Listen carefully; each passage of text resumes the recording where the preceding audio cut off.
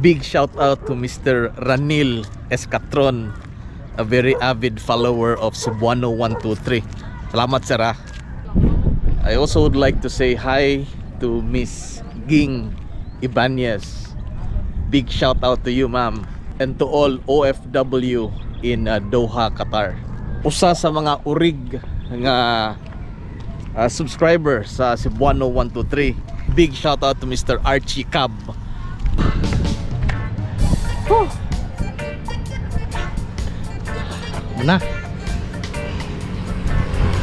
6 kilometers mga igsoon sa ako pangidaron nga approaching 15 ako. Ang ayan na gyud nga magamping o mag-jogging kanunay.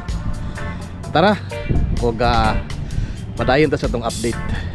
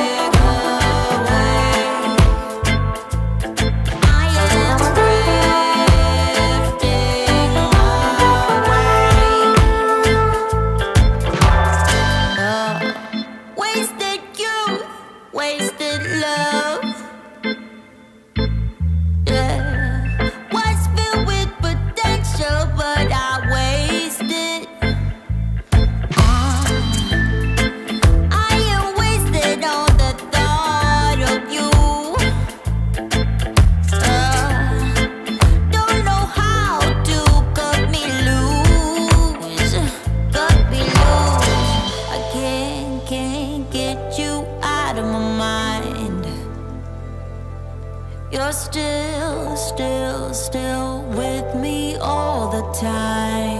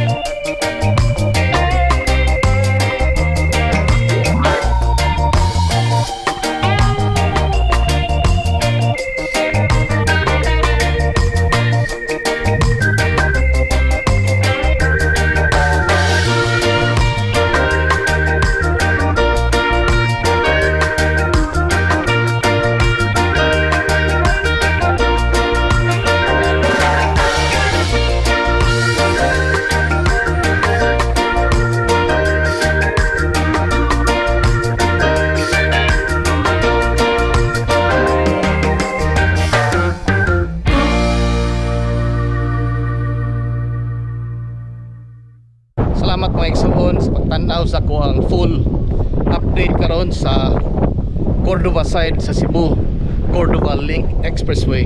Ang pabuta ang ato ang episode 2 mga igsuon karong April 4 Monday. Salamat ug ambing kanunay.